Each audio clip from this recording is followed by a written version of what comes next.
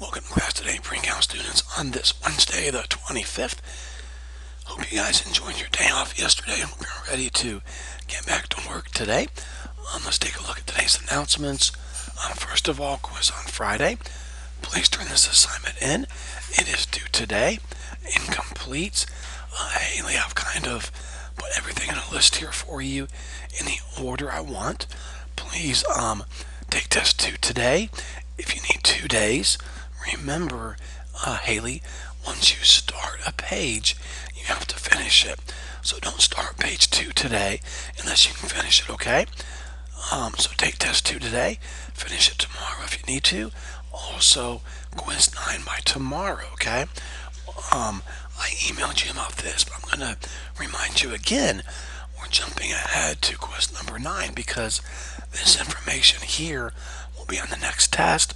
I'm going to go over this quiz with all the students, okay? Quiz 8 by Friday, test 3 by Monday. Any problems, Haley, email me. Now, this assignment here, Haley, was given last Monday, about nine days ago, and is due by today, or will be a permanent zero.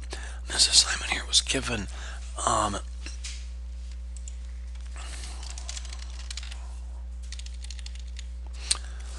last Thursday.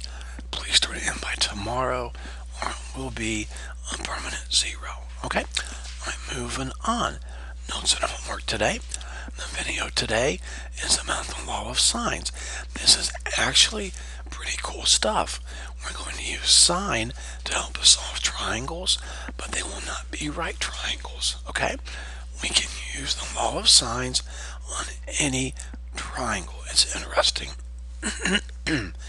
Here's the teaching video, about 31 minutes long.